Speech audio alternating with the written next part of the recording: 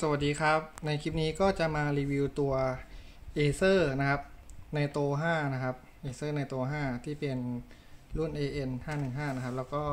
ASUS TUF นะครับคราวที่แล้วเรารีวิวเป F15 ไปครับ คราวนี้เรามารีวิวรุ่นนี้บ้างครับก็คือ N17 นะครับ ก็คือเป็นเครื่องที่ผมใช้ในที่ทำงานครับเครื่องนี้นะครับ ก็คือเอาไว้ประจำที่ทำงานเลยนะครับ เอาไว้เขียนแบบนะครับ เอาไว้ทำงานพวก Sonic Work อะไรพวกนี้ครับ เขีนแบบต่างๆนะครับ ก็คราวนี้จะมาดูลักษณะการทำงานครับสองเครื่องนี้ผมใช้ทำงานทั้งคู่เลยนะเครื่องนี้ผมก็จะใช้พวกออกเขียนแบบออกแบบนะ Auto d e s อ่า Auto CAD นะครับ Sonic Work อะไรประมาณนี้ครับ แล้วก็ตัดต่อวิดีโอนะครับ แต่เครื่องนี้ผมจะเอาไว้อัดวิดีโอครับ เอาไว้อัดวิดีโอนะจะใช้งานแยกกันเลยนะครับคราวนี้ในคลิปนี้เดี๋ยวจะมารีวิวภายนอกนะครับ ภายนอกนะครับว่า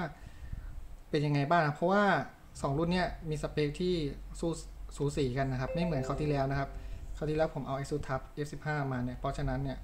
สเปคมันจะต่างจากอันนี้เยอะครับแต่อันนี้ก็ต่างเหมือนกันนะเพราะอันนี้ 15 นิ้ว อันนี้เป็นจอ 17 นิ้วเห็นปะใหญ่กว่านะครับทำไมถึงต้องอันนี้ต้องใหญ่กว่า เพราะว่าเราเขียนแบบนะแล้วตัดต่อวิดีโอด้วยนะครับ ก็เลยใหญ่กว่า อันนี้ผมเอาไว้อัดวิดีโอเฉยๆนะครับ อัดเสียงอัดคลิปอะไรประมาณนี้ครับมาดูลักษณะภายนอกนะครับ ปุ่มเนี่ย นะครับปุ่มเนี่ยก็ถ้าเทียบกับปุ่มเนี่ยตัวทับ A17 นะครับ หรือว่าทับ F15 เนี่ยปุ่มเนี่ยคล้ายๆกันเลยนะครับ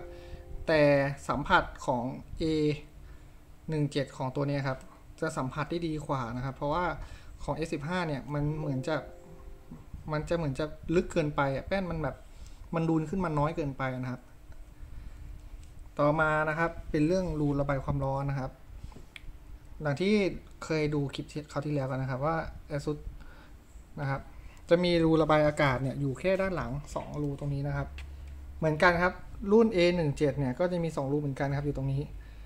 นะครับ แต่ส่วนของ Acer Nitro เนี่ยจะมี 4 รูครับ 1 2 3 4 นะครับ มีรูเลยปะ4รู เพราะฉะนั้นเนี่ยการระบายอากาศเนี่ยจะเสียงดังน้อยกว่านะครับ ส่วนของ A17 หรือของพวกทับเนี่ย จะมีรูระบายอากาศแค่2รูตรงนี้ก็จะเสียงดังนะครับ พอมีรูระบายอากาศ2รูเนี่ยแล้วมันเสียงมันดังเนี่ย ผมก็เลยต้องใช้ตัวเนี้ยในการอัดเสียงนะเพราะว่าผมไม่ได้ต่อไมค์แยกนะ ใช้ไมค์คอมพิวเตอร์เลยนะ ต่อมานะครับ ก็จะเป็นรูปการใช้งานนะรูปทรงนะครับ การใช้งานนะครับ ตัวเนี้ยก็ เห็นตัวเนี่ยมันเท่า ๆกันนะ นะครับ ตัว A17 ใหญ่กว่านะครับ แต่น้ำหนักเนี่ยพอๆกันนะครับ เวลาถือนะครับ หรือใส่กระเป๋านี่ครับ ก็มีน้ำหนักพอๆกันนะครับ คราวนี้มาดูไฟดีกว่าครับ ไฟคีย์บอร์ด อ่าเดี๋ยวผมเปิดไฟคีย์บอร์ดนะครับ อันนี้ตอนเปิดมีไฟ ส่วนใหญ่ไม่ค่อยได้ใช้หรอกครับนานๆจะใช้ทีนะครับ พวกไฟคีย์บอร์ดวันนี้เดี๋ยวมาเปิดอ่าของตัวนี่ครับนี่ไฟคีย์บอร์ด นะครับตัวไฟคีย์บอร์ดเนี่ยไม่ได้เป็นสามโซนนะครับ แต่นี้จะเป็นสามโซนนะครับ นี่แล้วปิดไฟนะจะปิดไฟให้ดู นี่เห็นไหมครับพอปิดไฟแล้วครับ อันนี้ก็จะเป็น RGB นะครับสามโซนนะครับ อันนี้ไม่ได้เป็นนะครับ แต่ผมบอกเลยพวกไฟคีย์บอร์ดเนี่ยมันก็แค่การตลาดอะไม่ค่อยได้ใช้หรอกนะ ผมบอกเลยไม่ค่อยได้ใช้หรอกครับ สำหรับคนเล่นโน้ตบุ๊กนะ ไม่ค่อยได้ใช้หรอกนะพวกไฟ RGB เนี่ยส่วนใหญ่จะปิดมากกว่า โอเคครับ ส่วนตัวทัชเนี่ย เป็นตัวทัชแบบฟูลเลยครับฟูลทัชตรงนี้นะครับฟูลทัชก็คือไม่มีปุ่มซ้ายขวานะครับ อยากจะคลิกซ้ายก็คลิกด้านซ้าย อยากคลิกขวาก็คลิกด้านขวาประมาณนี้ครับ แต่ส่วนของตัว ASUS TUF เนี่ยนะครับเขาก็จะมีปุ่มซ้ายขวาแบบนี้นะครับ คลิกซ้ายคลิกขวานะครับบางคนอาจจะไม่ชอบแบบมันทัชมันไม่ติดมืออะนึกออกปะถ้าทัชแล้วไม่ติดมืออะก็ต้องมาใช้นี่ดีกว่านะมันแบบฟูอะนะมันเต็มมือดีอ่านึกออกใช่ไหมครับคราวนี้มาดูฝาด้านหลังดีกว่านะครับ ฝาด้านหลังของ Acer เนี่ย มันจะเรียบๆนะครับ แต่ของทับรุ่นใหม่นะครับ มันจะเป็นแบบนี้นี่เห็นไหมครับฝาหลังเห็นไหมครับ เทียบกันเลย ฝาหลังของทับเนี่ยหรือดีไซน์เนี่ยเท่กว่านะครับ ผมบอกเลยว่าเท่กว่ามันอยู่ที่ความชอบนะ แต่ถ้าเรื่องไม่ได้ก็